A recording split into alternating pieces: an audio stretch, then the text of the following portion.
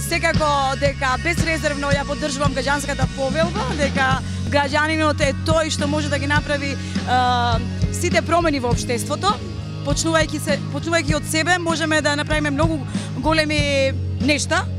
Секако, ако тоа се замолчи или се е, не се зема како релевантен фактор, многу пати општеството, бидејќи силата и подвигот на цело едно општество од самиот граѓанин.